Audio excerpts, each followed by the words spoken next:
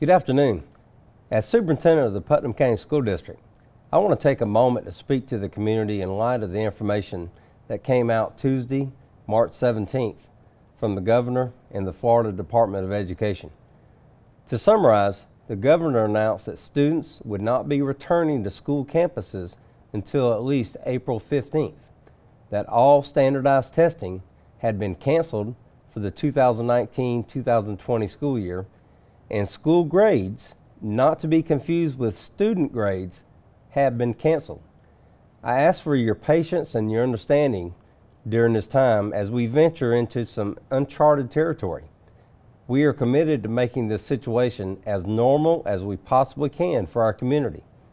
The priority of our district has and always will be the safety and well being of our students and staff.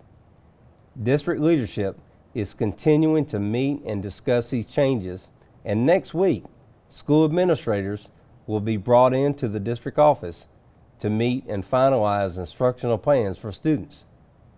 On Monday, March 30th, Putnam County Schools will resume as an online and home learning environment. This means that students will not be on our school campuses, but will be provided a structured learning environment from home.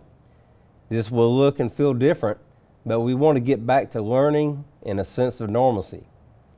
Students will have the opportunity to finish their current grade level as planned.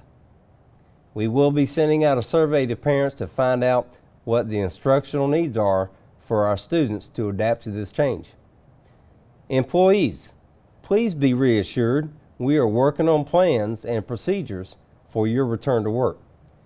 You should be receiving an email with more information this afternoon. Over the next few days, we will be providing updates and additional information to our community, our staff, our parents, and our students. I would ask that instead of physically visiting our district office or our schools, that individuals call with any questions or concerns. I want to assure you that we are working together and we will get through this as a community. During this time of uncertainty, know that I am here to support you. Be safe, take care of your families, and you will be hearing from me soon.